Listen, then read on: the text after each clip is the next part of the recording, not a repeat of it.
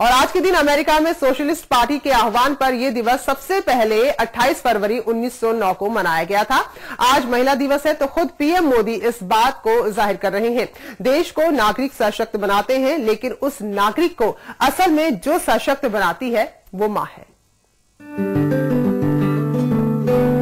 जहाँ अंधकार होता है, वहाँ रोशनी भी होती है। जहाँ मुसीबत होती है, वहाँ सफलता भी होती है। और जहाँ महिलाएँ होती हैं, वहाँ हमेशा उम्मीद की किरणें होती हैं। यही बात देश के प्रधानमंत्री नरेंद्र मोदी ने कही कि महिलाएँ खुद सशक्त हैं, पुरुष होते कौन हैं जो उन्हें सशक्त करेंगे?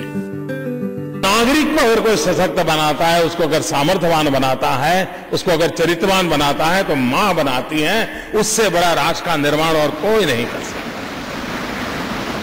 उससे बड़ा राष्ट्र का निर्माण राष्ट्र का सशक्तिकरण कोई नहीं कर सकता, जो सदियों से माताएँ बहनें करती आई है। आगा की सरिता और जैबून निशा प्रधानमंत्री की बातें सही साबित करती हैं।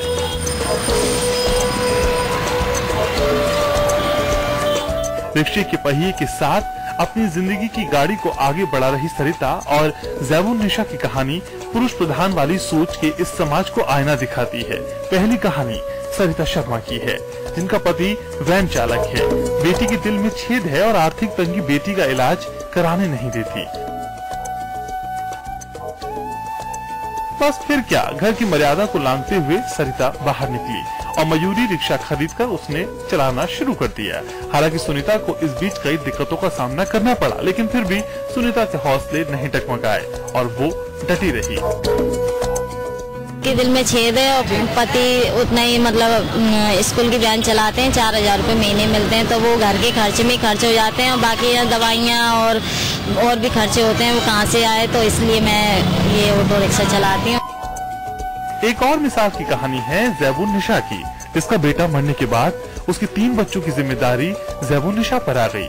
भूखे मरने की स्थिति में जैबून घर से बाहर निकली और अपने मासूम पोते पोतियों के लिए मेहनत कर रिक्शा चलाने लगी। बेटा था मेरा एक्सपायर हो गया तीन साल पहले और हस्बैंड मेरे चौबीस साल पहले चले गए। अब मेरे घर में कोई कमाने खाने वाला नहीं है तो इसलिए मैं ना खुद कमाती हूँ। सरिता और जैबुन निशा की कहानी मिसाल है समाज के लिए, जहाँ महिलाओं को सिर्फ़ चूल्हा चौका और घर संभालने वाली के रूप में देखा जाता है। समाचार प्लस इन महिलाओं के जज्बे को सलाम करता है। आगरा से शिव चौहान के साथ ब्यूरो रिपोर्ट, समाचार प्लस।